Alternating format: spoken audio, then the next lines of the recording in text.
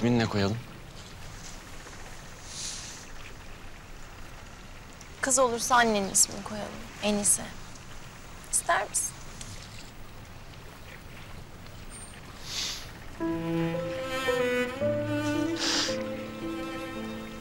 İsterim.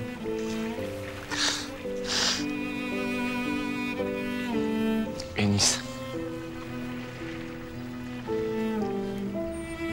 Erkek olursa da senin babanın ismini koyalım. Mehmet. Tamam.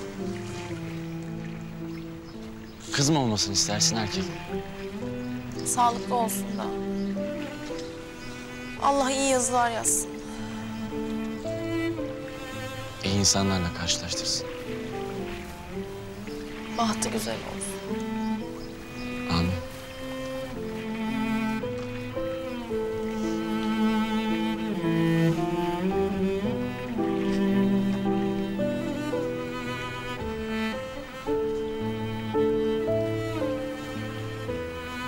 Babamlara da var.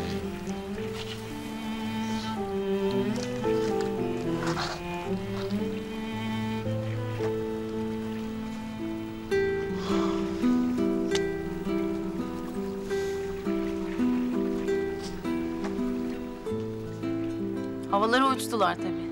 Hele Meryem abla çok sevindi. İşte böyle öğrendik eniştemizin geleceğini. Kızım hepimize sürpriz yaptı.